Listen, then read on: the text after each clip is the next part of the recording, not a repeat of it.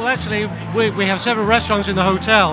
Okay. Um, we're obviously the Marriott Marquis, and it's the biggest hotel in New York. Uh, we do thousands for banquets and thousands in the restaurants. But um, we, we like to do this kind of stuff because it gives us an outlet to create a little more. Uh-huh. And um, the dessert we have tonight is actually uh, it's a white chocolate and coconut tembleque, which is like a almost a, a Mexican uh, pudding.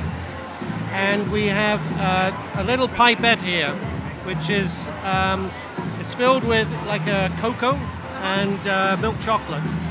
So the thing with this particular dessert, most people turn it the other way round, but it actually goes in the mouth and you squeeze from the bottom.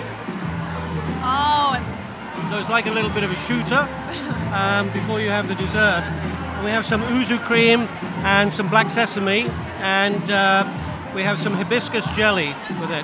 Now the little black spots you see are pop rocks, chocolate pop rocks. So when you get them in your mouth, it kind of makes your mouth go all fizzy.